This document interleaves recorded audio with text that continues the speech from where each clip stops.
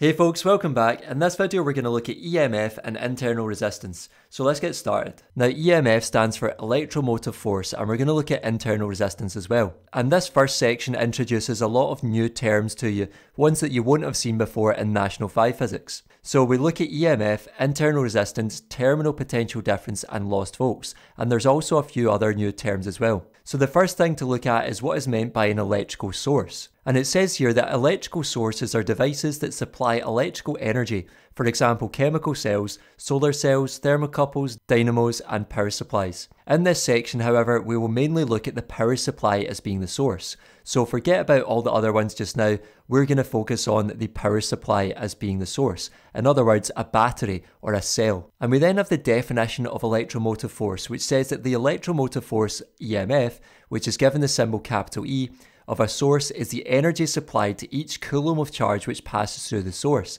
It is measured in volts V. Now, you should recognise this because this is identical to the definition for potential difference or voltage, which you saw at National 5 level. And the reason it's identical is because electromotive force is also a voltage. It then says to introduce some new terms, consider the following circuit with a battery, voltmeter, load resistor R, and switch S. So here we've got a battery with two cells, we've got a switch S with some wires, and we've got a voltmeter in parallel with our battery and then a resistor here. And it says that when the switch is open, we have what is called an open circuit. So in this current state just now, when the switch is open, we say that this is an open circuit. And in this open circuit, no current is flowing because the switch is open. In this case, the reading on the voltmeter gives the EMF, which is 1.5 volts. So when the switch is open and we simply have the voltmeter connected in parallel with the battery to get the voltage across it, the voltmeter is going to give us the EMF of the battery. So another way of thinking about it is when no current is flowing in our circuit, if we were to measure the voltage across the battery at that time, what we get is the EMF. However, when the switch is closed, current will flow around the circuit. Since all materials have some resistance, the power supply must have its own resistance. In other words, the battery here will have its own resistance. This is called the internal resistance, which we give the symbol small r. And it's internal because it's internal to the battery or the power supply. This means we can model a power supply as a source of electrical energy, i.e. a battery, in series with a small internal resistance as shown below. And when we get this kind of setup, we call it a real source. So when we've got a battery or cell with EMF E next to a small resistor of resistance lowercase r, that is our internal resistance, and then we enclose these components in a dashed line box. And this is what we call a real source. An ideal source, however, is a source with no internal resistance, i.e. it only has an EMF. So it's almost like saying an ideal source is ideal because you don't have to think about an internal resistance. But in reality, a real source like a battery will have an internal resistance. And this is something that you would have ignored at National 5 level and in higher physics up until this point. Now just to help you visualize this idea of opening and closing the switch and how we get an EMF, I'm going to show you a quick simulation. Now imagine we've got a voltmeter connected in parallel to a DC power supply just like a battery. You'll notice that the voltmeter says I've got 0 volts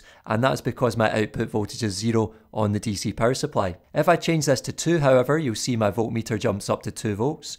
If I increase to 4 volts, the voltmeter jumps up to 4 and so on you see that what we actually measure is the EMF. So this battery, when it's on its own and not connected into a circuit, will give you the EMF on a voltmeter. And this is almost like its overall maximum voltage that the battery has. However, if we then connect this battery and the voltmeter in with some more wires with a variable resistor and an ammeter so that this is in a series circuit with some current flowing around the circuit, then what we would actually see is if I increase the DC power supply this time, on the voltmeter, we can see 2 is giving out 2, but if I go to 4, we can see that the we can see the voltmeter reading is just below 4 this time. And if I go to 6, we can see we get a voltage just below 6. And then 8, we're just below 8. And for 10, again, we're below 10 volts there. And that's because when a current flows in the circuit, when we measure the voltage across the battery, we're no longer going to get the EMF. What we actually are measuring at this point is something called the terminal potential difference. And this is the potential difference or voltage that is available to the rest of the circuit to be used up by the components. So we can see that for the 10 volt case, for example, we're at something like 9.7, 9.8 volts there, and that means there has been a small amount of voltage lost, and that is what we call the lost volts. So this voltage is lost because energy is wasted by the current trying to pass through the battery. And that's because remember the battery has an internal resistance. And so energy is converted into heat when electrons try to pass through the internal resistance, the small resistor of the battery. Going back to the notes now, we can look at the lost volts and terminal potential difference in a bit more detail. So it says that when current is drawn from an electrical source, some energy is wasted inside the source due to its internal resistance, as we just said earlier. This is referred to as the lost volts, and we can label this as capital V subscript lost, just to keep us right. So we've actually got an expression for the lost volts in terms of the current in the circuit and the internal resistance small r. So we say that V lost is equal to IR, and notice that this is just a form of Ohm's law, V equals IR, but we're using V lost and small r instead. It then says this means that there is less voltage available to the load resistor R. So remember in our circuit diagram, this was the load resistor, also known as an external resistance. The voltage available at the terminals of the electrical source, and therefore across the load resistor, is called the terminal potential difference TPD, or we can call this capital V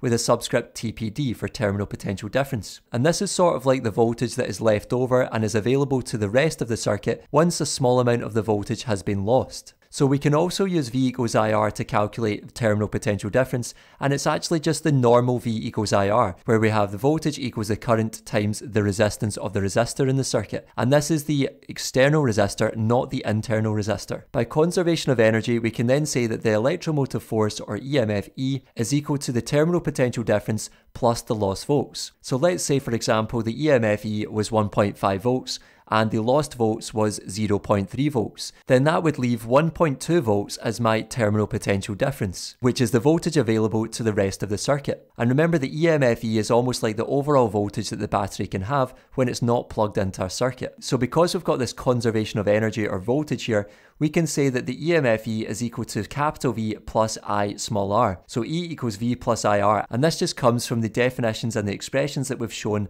up here. So we're just rewriting VTPD as capital V instead, and we've also got the V lost, which we're rewriting as the current times the internal resistance. So we've got E equals V plus IR, where E is the electromotive force measured in volts V, V is terminal potential difference measured in volts V, I is the current measured in amperes, and small r is the internal resistance measured in ohms. It then says to note that when you're asked to find the current in the circuit, it can help to rewrite the above equation as E equals IR plus IR. So we can actually expand the capital V term for Ohm's law into the current times the resistance of the external resistor. And what we can then do is if we're trying to find the current, we can factorize it to get E equals I times R plus R. So we can actually introduce brackets here and take the current outside the brackets. And this means that we can plug in all the other numbers for E, big R and small r and then just find what the current is. It also says to note that external resistance is another name for the total resistance in the circuit excluding the power supply. So as we said earlier, the resistance of this resistor R is known as your external resistance, whereas the small resistance of the power supply is known as the internal resistance. One last term to look at is something called a short circuit. So it says that when a battery is short circuited, the load resistance is effectively zero, i.e. we can set the external resistance R equal to zero and this means that the voltage V is equal to zero because the terminal potential difference V equals IR remember and it depends on this R, so V will also equal zero. And therefore we can simplify our equation for EMF and internal resistance we can simplify this to say that V here equals 0, so this means we're left with E equals I small r. So this gives us a sort of simplified equation for a short circuit. So if you're asked about a short circuit in a question, just know that you can set R and therefore V equal to 0 and simplify it to E equals IR. A battery being short circuited can be dangerous though, as the current can become incredibly high with no load resistance. A battery connected to itself is an example of a short circuit which will cause the battery to heat up